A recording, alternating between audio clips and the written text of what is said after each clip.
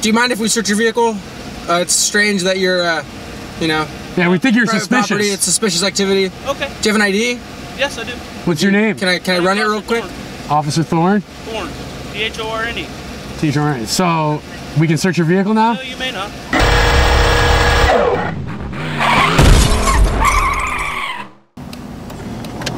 Saw a cop sitting here. We're gonna go see what he's doing.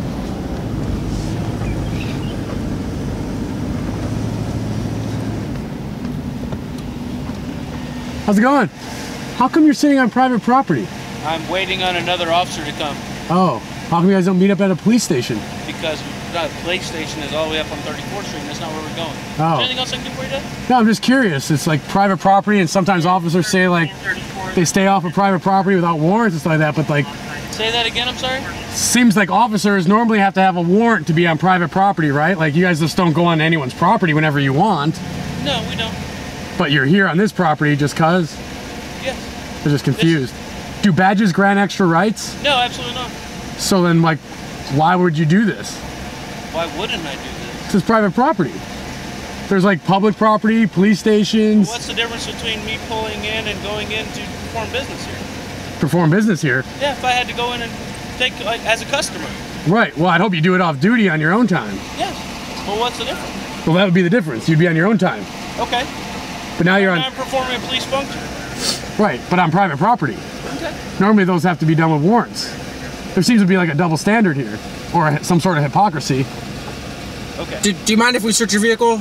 Uh, it's strange that you're, uh, you know, Yeah, we think you're private suspicious. property. It's suspicious activity. Okay. Do you have an ID? Yes, I do. What's your name? Can I can I run it real quick? Officer Thorne. Thorn. T H O R N E. Teacher. So we can search your vehicle now? No, you may not. How come? Do you have something to hide? Sorry? Do you have something to hide? Do you have some drugs in No, there? absolutely not. Well, Point then- fact, here comes the other officer I'm about to do business. Oh, awesome. What are you guys up to? We're exchanging property that needs to go down to our office. Ah, so you have evidence with you. No, I don't. Oh, property? Reports. What's that? Reports. Ah, Yeah. You guys have a good day. I'm gonna go take care of my business. okay, go ahead. I'm just gonna chill. Have a good one. All right, we're gonna watch you guys for a while.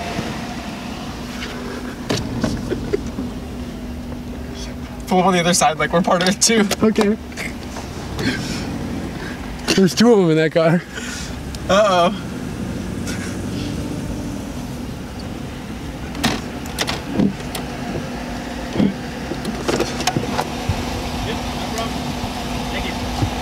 Oh man, where's the paperwork? Did you just not watch me hand it to him? Oh, I missed it. I must have been turning around. Must have been. All Have a good day. You too. Don't harm anybody today.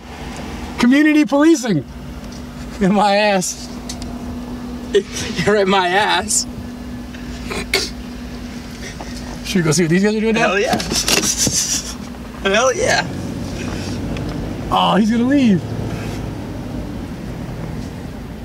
How's it going? You guys be careful. You guys too. Try not to harm anybody today. No victim, no crime.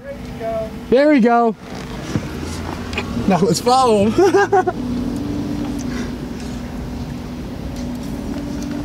no blinker. No blinker.